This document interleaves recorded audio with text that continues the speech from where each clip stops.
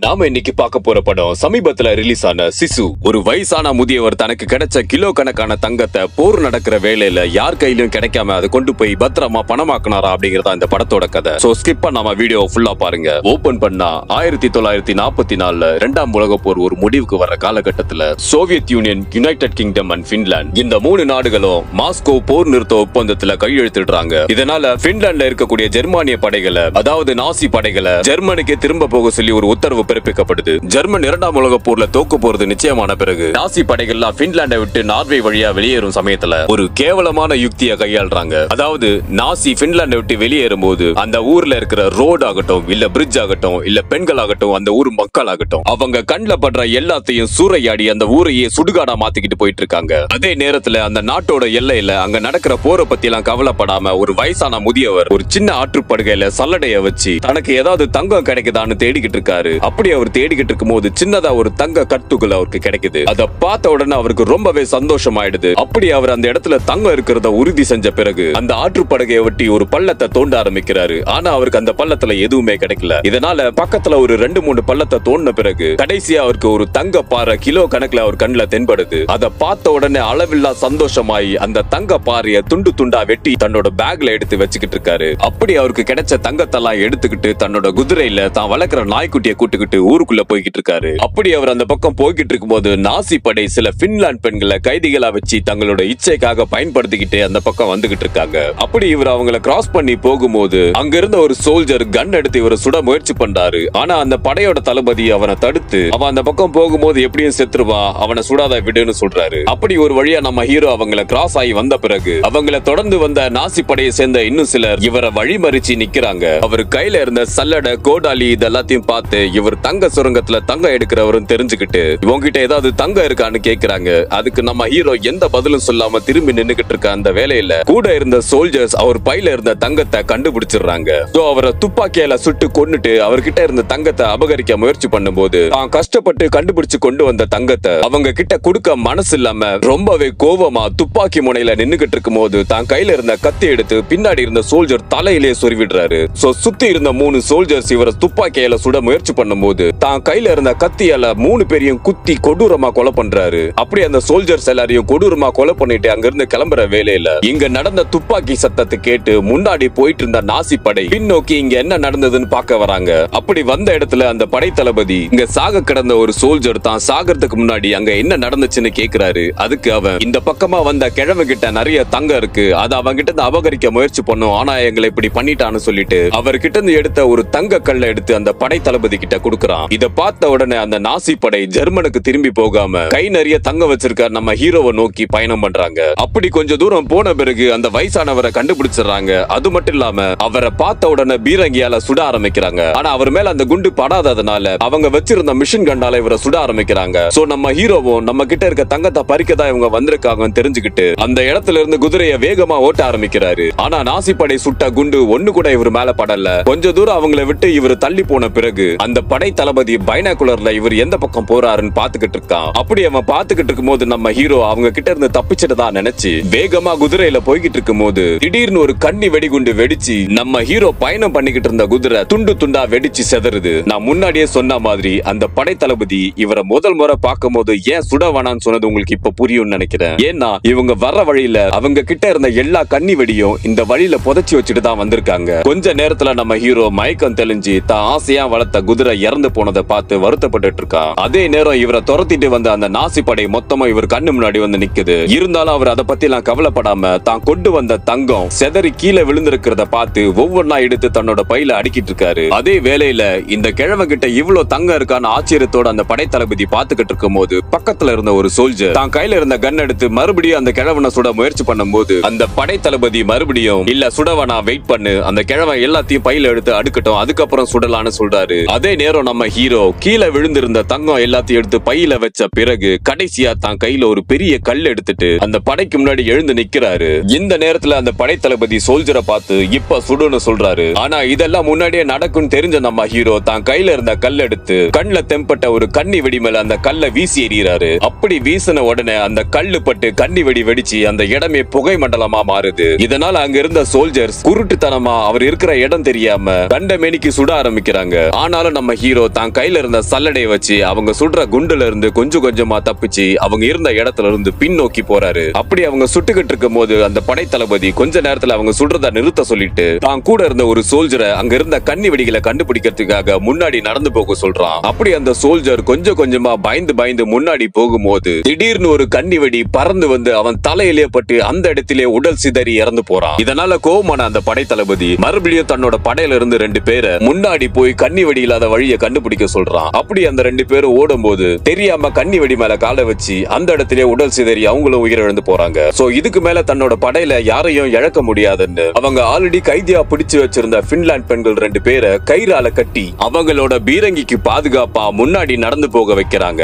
அப்படி நம்ம ஹீரோவை நோக்கி இவங்க போய்கிட்டு இருக்கும் போது வண்டியை உடனே திருப்பி பின்லாண்ட்ல இருந்து நார்வேக்கு வந்தே ஆகணும்னு சொல்லி உயர் அதிகாரி ஆர்டர் கொடுத்ததா அந்த சோல்ஜர் சொல்றான். அதுக்கு இந்த படை தளபதி நம்மளோட ஆட்கள்ல ஏழு பேர் அவன் கொண்டுட்டான் தான் நீ சொன்னியான்னு கேக்குறாரு. அதுக்கு அந்த சோல்ஜர் நான் அதை ஏற்கனவே சொல்லிட்டேன். ஆனா நம்ம எல்லாம் ரொம்ப லக்கி நாம அவகிட்ட எந்த தகராறும் வச்சுக்க வேண்டாம். அவன் சாதாரண ஆள் கிடையாது. அவன் ரிட்டையர்டு கமாண்டோ அவனோட குடும்பத்தை ரஷ்யன்ஸ் கொன்னதுனால இது வரைக்கும் கிட்டத்தட்ட முன்னூறு ரஷ்யன்ஸ் படை வீரரை கொண்டு இருக்கான்னு சொல்றாரு. அது மட்டும் இல்லாம அவன் பின்லாந்துல யாரோட பேச்சையும் கேட்க மாட்டான். அவனுக்குன்னு தனி ரூல்ஸ் தனி வழி. அவனை எதிர்த்து யார் வந்தாலும் இது வரைக்கும் யாரையும் அவன் உயிரோட விட்டதில்ல. இதனாலே ரஷ்யன்ஸ் அவனுக்கு அழிவில்லாத கொலைகாரன்னு பேர் வச்சிருக்காங்க. சோ இதுக்கு மேலயும் அவனை நம்ம ஃபாலோ ஃபாலோ பண்ணிட்டு போனுமான அந்த சோல்ஜர் கேட்கும் போது இந்த படைத்தளபதி அழிவில்லாதவனா அதையும் ஒரு கை பார்த்துடுவோன்னு சொல்லிட்டு அவனை பின்தொடர்ந்து போக சொல்றாரு. அதே நேரத்துல அந்த நாசி படைகிட்ட இருந்து தப்பிச்சு கொஞ்சம் தூரம் நடந்து வந்த பிறகு அவங்க கண்ட மேனிக்கு சுட்டதுனால உடம்புல ஒரு சில இடத்துல குண்டடிப்பட்டு நம்ம ஹீரோ ரொம்ப டயர்ட் ஆனதுனால ஒரு எரிஞ்சு போன வண்டி பக்கத்துல உட்கார்ந்து தான் உடம்புக்குள்ள பட்ட குண்டுகளை நம்ம ஹீரோ எடுத்து வெளியே போட்டுக்கிட்டு இருக்காரு. அப்படி அந்த குண்டுகளை எடுத்த பிறகு நம்ம ஹீரோ கொஞ்சம் டயர்டா ஃபீல் பண்ணதுனால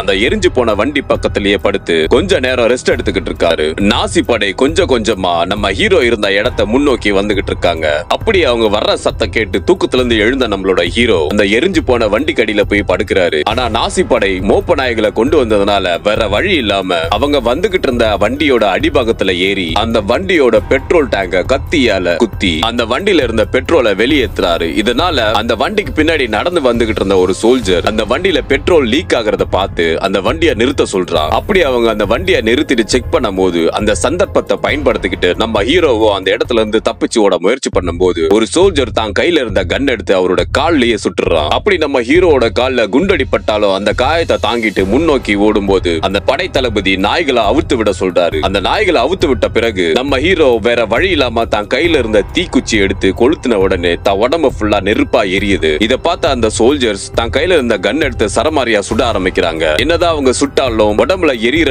நெருப்போடவே நம்ம ஹீரோ அங்கிருந்து வேக வேகமா ஓடி போய் பக்கத்துல இருந்த ஒரு குளத்துல குதிச்சிடுறாரு. அப்படி நம்ம ஹீரோ தண்ணில குதிச்ச உடனே மொத்த படியும் அந்த கரையோரமா வந்து நின்னுக்கிட்டு எவ்வளவு பெரிய அழிவில்லாதவனா இருந்தாலும் சரி கண்டிப்பா மூச்சு அங்க மேல வந்தே ஆகணும்னு சொல்லி அவர் எப்ப மூச்சு விட மேல வருவாருன்னு அங்கவே வெயிட் பண்ணிக்கிட்டு இருக்காங்க. கொஞ்ச நேரத்துல நம்ம ஹீரோவும் வேற வழி இல்லாம மூச்சு விட மேல வரும்போது கரையோரமா நின்னுகிட்டு இருந்த சோல்ஜர் தன்னோட கண்ணால ஒரு புல்லட்டை அவர் மேல இறக்கி ரத்தம் வர வச்சிடுறாரு. அப்படி அவர் மேல குண்டடிப்பட்ட பிறகு அந்த படை தளபதி அவன் இந்த நேரம் இறந்திருப்பான் உள்ள இறங்கி போய் தங்கத்தை கொண்டு வாங்கன்னு சொல்றாரு. அப்படி அந்த படை தளபதியோட பேச்சை கேட்டு தண்ணிக்குள்ள குதிச்ச ஒரு சோல்ஜர் நம்ம ஹீரோவை தண்ணிக்குள்ள தேடிக்கிட்டு இருக்க சமயத்துல அவனுக்கு பின்னாடி இருந்து வந்து நம்ம ஹீரோ தன் கையில வச்சிருந்த கத்தி எடுத்து அவன் கழுத்தை அறுத்து அவன் கழுத்துல இருந்து வரக்கூடிய ஆக்சிஜனை சுவாசிச்சுட்டு தொடர்ந்து தண்ணிக்குள்ளேயே இருக்காரு. அப்படி தண்ணிக்குள்ள போன சோல்ஜர் வெளியே வராததுனால அந்த படை தளபதி இன்னொரு சோல்ஜரை தண்ணிக்குள்ள குதிச்சு உள்ள என்ன நடக்குதுன்னு பார்க்க சொல்றாரு. அப்படி ரெண்டாவதா குதிச்ச சோல்ஜர் வெளியே வராம தண்ணியில இருந்து ரத்தம் மட்டும் வெளியேறினதுனால அந்த ரெண்டு பேரும் பேரும் இறந்துட்டதா நினைச்சு மூணாவதா இருந்த சோல்ஜர் எங்க நம்மள தண்ணிக்குள்ள இறக்கிடுவாங்கன்னு பயந்து அவர் ஓட்டிட்டு வந்த படக அங்க இருந்து பின்னோக்கி செலுத்த ஆரம்பிக்கிறாரு. இத பார்த்த உடனே கடுப்பான படை தளபதி இதுக்கு மேல நீ ஒரு மீட்டர் நவுந்தாலும் உன்னை சுற்றுவோன்னு சொல்றாரு. ஆனா அதையும் பொருட்படுத்தாம அந்த சோல்ஜர் அங்க இருந்து பின்னோக்கி போனதுனால அந்த சோல்ஜரை இவங்களே சுட்டு கொண்டுடுறாங்க அப்படி அந்த சோல்ஜர் இறந்த பிறகு அவனோட பாடிய தற்காப்பா பயன்படுத்திக்கிட்டு நம்ம ஹீரோ அந்த இடத்துல இருந்து தப்பிக்க முயற்சி பண்ணும்போது நம்ம ஹீரோவை சரமாரியா சுட ஆரம்பிக்கிறாங்க. இருந்தாலும் அதெல்லாம் பொருட்படுத்த பொருட்படுத்தாம அங்கிருந்து தொடர்ந்து வேகமா ஓடி போய் அவங்க கிட்ட இருந்து நம்ம ஹீரோ தப்பிச்சிடுறாரு. அப்படி அவர் அவங்க கிட்ட இருந்து தப்பிச்சு போன பிறகு நம்ம ஹீரோ வளர்த்துக்கிட்டு இருந்த நாய் அந்த படை தளபதி கிட்ட வந்து நிக்குது. சோ அந்த நாயை பயன்படுத்தி மறுபடியும் நம்ம ஹீரோவை கண்டுபிடிச்சலாம்னு சொல்லிட்டு அந்த படை அங்கிருந்து முன்னோக்கி கிளம்புறாங்க. அதே நேரத்துல நம்ம ஹீரோ அங்கிருந்து கொஞ்சம் தூரம் போன பிறகு ஒரு எரிஞ்ச நிலையில இருக்க பெட்ரோல் பங்க்குள்ள போய் கொஞ்ச நேரம் ரெஸ்ட் எடுத்துக்கிட்டு இருக்காரு. அப்படி கண்ணை சந்து தூங்கிட்டு இருக்கும் போது கொஞ்ச நேரத்துல தான் வளர்த்துக்கிட்டு இருந்த நாய்க்குட்டியோட சத்தம் கேட்ட பிறகு நம்ம ஹீரோ அங்கிருந்து கண் விழிச்சு எழுந்து அந்த நாய்க்குட்டி கிட்ட போகும்போது தான் தெரியுது அந்த நாயோட உடம்புல ஒரு வெடிகுண்டு கட்டப்பட்டிருக்கு. சோ அந்த வெடிகுண்டை எடுத்து வீச நினைக்கும் போது அது வெடிச்சதுனால அந்த வெடிகுண்டோட தாக்கத்துல தூக்கி எறியப்பட்டு நம்ம ஹீரோ மயக்க நிலைக்கு போறாரு. கொஞ்ச நேரத்துல மயக்கம் தெளிஞ்சு கண் விழிச்சு பார்க்கும்போது அந்த நாசி படை இவர்கிட்ட இருந்த தங்கத்தை எடுத்துக்கிட்டு இவரோட கழுத்துல ஒரு கயிறை கட்டி இவரை தூக்குல தொங்க விடுறாங்க. கொஞ்ச நேரம் நம்ம ஹீரோ தூக்குல தொங்குறத பார்த்து அவர் இறந்து போனதா நினைச்சுக்கிட்டு அங்கிருந்து அந்த நாசி படை அவர் வச்சிருந்த தங்கத்தை எடுத்துக்கிட்டு அங்கிருந்து கிளம்புறாங்க. அப்படி அந்த நாசி படை அங்கிருந்து போன பிறகு இவ்வளவு நேரம் இறந்து போன மாதிரி நடிச்ச நம்ம ஹீரோ கண் விழிச்சு அவரை தூக்குல தொங்க விட்டிருந்த மரக்கட்டையில இருந்த ஆணி மேல கால வச்சு அந்த தூக்கு கைத்துல இருந்து ஒரு வழியா தப்பிச்சு கீழே விழுறாரு. அண்ட் அதே நேரத்துல அந்த பக்கமா வந்துகிட்டு இருந்த ரெண்டு போர் விமானிகள் அவங்க வந்த விமானத்தை கீழே இறக்கிட்டு அந்த பெட்ரோல் பங்க்ல ஏதாவது பெட்ரோல் கிடைக்கதான் தேடிக்கிட்டு இருக்காங்க. அந்த நேரத்துல நம்ம ஹீரோவை பார்த்த உடனே துப்பாக்கியால சுட முயற்சி பண்ணும் போது நம்ம ஹீரோ அவங்க ரெண்டு பேரையும் அந்த இடத்துல போட்டு தள்ளிட்டு அவங்க வந்த விமானத்தை எடுத்துக்கிட்டு தான் கிட்ட இருந்து தங்கத்தை திருடிட்டு போன நாசி படைய நோக்கி போறாரு. கொஞ்ச நேரத்துல அந்த நாசி படை போய்கிட்டு இருந்த வழியில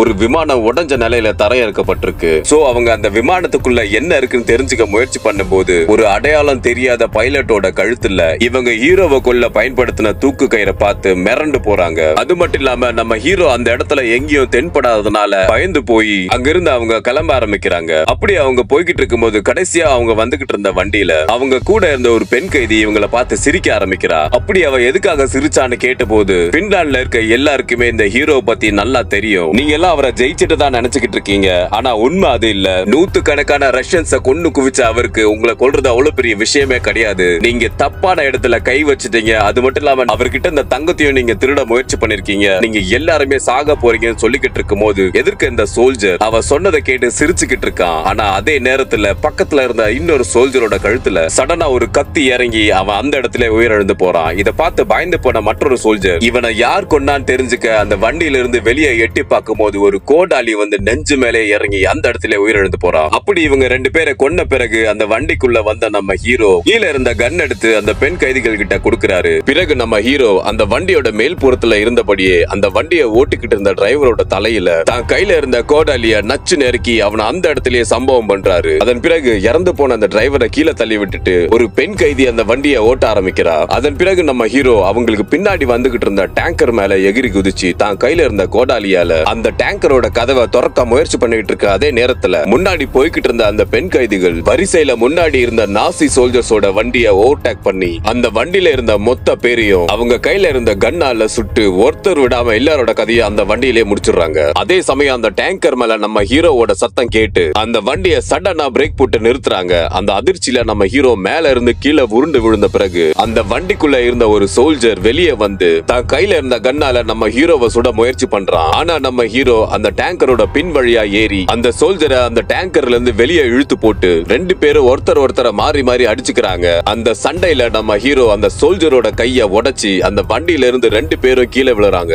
அப்படி அவங்க ரெண்டு பேரும் கீழே விழுந்தாலும் அந்த படை தளபதி அவனை காப்பாத்த முயற்சி பண்ணாம தொடர்ந்து அந்த வண்டியை ஓட்டிக்கிட்டு அவனுக்காக காத்துக்கிட்டு இருந்த விமானத்தை நோக்கி போய்கிட்டு இருக்காங்க. அதே சமயம் தான் கூட கீழே விழுந்த சோல்ஜரை தான் கையில இருந்த கோடாலியால கொலை பண்ண முயற்சி பண்ணும் போது அந்த சோல்ஜர் நம்ம ஹீரோவை பார்த்து பயந்து தன்னை கொல்ல வேணான்னு கெஞ்சினதுனால இவனால பாதிக்கப்பட்ட அந்த பெண் கைதிகள்கிட்ட விட்டுட்டு நம்ம ஹீரோ அங்க இருந்து அந்த டேங்கரை நோக்கி போக ஆரம்பிக்கிறாரு. அதே நேரம் அந்த படை தளபதி அவனுக்காக காத்துக்கிட்டு இருந்த அந்த விமானத்துக்கிட்ட வந்து சேர்ந்த பிறகு இவ்வளவு நேரம் அந்த டேங்கரை ஓட்டிக்கிட்டு இருந்த டிரைவரை கொஞ்சம் கூட யோசிக்காம அவனை சுட்டுட்டு அங்கிருந்து இந்த விமானத்தை ஸ்டார்ட் பண்ணிட்டு முன்னாடி போக ஆரம்பிக்கிறாங்க. அதே நேரத்துல இவங்க கிளம்புறத பார்த்த நம்ம ஹீரோ தான் கையில இருந்த கன் எடுத்து அந்த விமான விமானத்தை நோக்கி சுட ஆரம்பிக்கிறாரு. ஆனாலும் அந்த விமானம் தொடர்ந்து முன்னோக்கி வந்ததுனால அந்த கண்ணை கீழே போட்டுட்டு தான் கையில இருந்த கோடாலிய பயன்படுத்தி அந்த விமானத்தோட அடிபாகத்துல ஏறிடுறாரு. அதன் பிறகு அந்த விமானம் ஆகாயத்துல பறந்துகிட்டு இருக்கும் போதே நம்ம ஹீரோ தான் கையில இருந்த கோடாலியால அந்த விமானத்தோட பின்புறத்தை தொலைச்சி எப்படியோ ஒரு வழியா உள்ள வந்துடுறாரு. அதன் பிறகு அவரோட சத்தம் கேட்டு அவர் உள்ள வந்ததை தெரிஞ்சுக்கிட்ட அந்த படையே இல்லாத தளபதி நம்ம ஹீரோவை கண்ணால சுட முயற்சி பண்ணும் போது நம்ம ஹீரோ தான் கையில இருந்த கோடாலிய வேகமா விட்டு எரிஞ்சு அந்த கண்ணை கீழே விழ வச்சிடறாரு. அதன் பிறகு ஒருத்தர் ஒருத்தர் மாறி மாறி அடிச்சுக்கிறாங்க. அப்படி அடிச்சுக்கிட்டு இருக்கும்போது கொஞ்ச நேரத்துல நம்ம ஹீரோ அந்த படை தளபதி கையில இருந்த கயிறை விமானத்துல இருந்த வெடிகுண்டோட லாக் பண்ணி அந்த வெடிகுண்டோட கதவை திறந்து விட்டு அந்த படை தளபதியோட கதையை முடிக்கிறாரு. அதன் பிறகு அந்த விமானத்தோட என்ஜின் ஃபெயிலியர் ஆனதுனால ஆகாயத்துல இருந்து அதிவேகமா கீழே விழுந்து நொறுங்குது. ஆனாலும் அந்த விமானம் வெடிக்காததுனால நம்ம ஹீரோ அந்த விபத்துல இருந்து ஒரு சில காயங்களோட தப்பிக்கிறாரு. அதன் பிறகு ஊருக்குள்ள இருந்த ஒரு பெரிய பேங்க்ல தான் கிட்ட இருந்த தங்கத்தெல்லாம் கொண்டு போய் கொடுத்து சந்தோஷமா அதை பணமா மாத்திட்டு சொல்லிட்டு அங்கிருந்து கிளம்புறாரு. இந்த இடத்துல இந்த படம் முடியுது. வேறு ஒரு நல்ல கதையில சந்திப்போம். நன்றி.